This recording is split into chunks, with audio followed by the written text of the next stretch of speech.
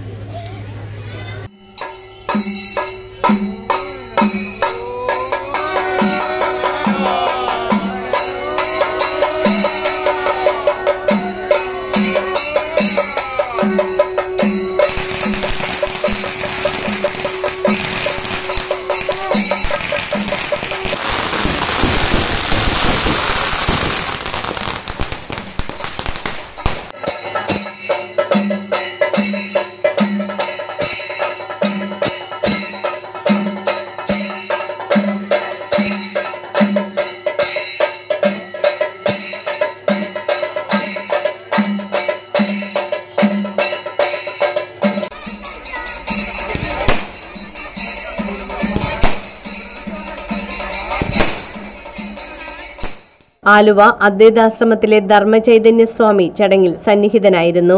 ആ മണ്ണ് അവിടെ വന്നു ചേരുന്നവരുടെ സകല പാപങ്ങളെയും നശിപ്പിച്ചു കളയത്തക്ക നിലയിൽ ആ മണ്ണിന് വലിയൊരു പുണ്യം സംഭവിക്കുന്നു. മഹത്തുക്കളുടെ പാദം പതിയുന്ന മണ്ണിന് ഇപ്രകാരം ആ മണ്ണിൽ വന്നു ചേരുന്നവരുടെ സകല പാപങ്ങളെയും ഏറ്റെടുത്ത് അതിനെ നശിപ്പിച്ചു കളയുവാൻ തക്ക ഒരു പുണ്യം ആ മണ്ണിന് വന്നു ചേരുന്നു. അതാണ് ഗുരു പറഞ്ഞത് വ്രജനഹാരിണി സ്വപതപാതിനി മേദിനി എന്ന്. ഇപ്പോൾ മഹത്തുക്കളുടെ പാദം പതിഞ്ഞ മണ്ണിനൊക്കെ ഇങ്ങനെ ഒരു പുണ്യമുണ്ട്. ഇപ്പോൾ ഗുരുദേവന്റെ കാര്യം തന്നെ നോക്കുമ്പോൾ നമുക്കറിയാം തൃപ്പാദങ്ങളുടെ ആ ജന്മം കൊണ്ട് പവിത്രമായ ചെമ്പഴന്തിയും അവിടുത്തെ പ്രവർത്തനങ്ങൾക്ക് സമാരംഭം കുറിച്ച അരുവിപ്പുറവും. അതുപോലെ ഗുരു പ്രതിഷ്ഠാകർമ്മം നിർവഹിക്കപ്പെട്ട ക്ഷേത്രങ്ങളും ഗുരുദേവൻ സ്ഥാപിച്ച ആലുവാദ്വൈതാശ്രമവും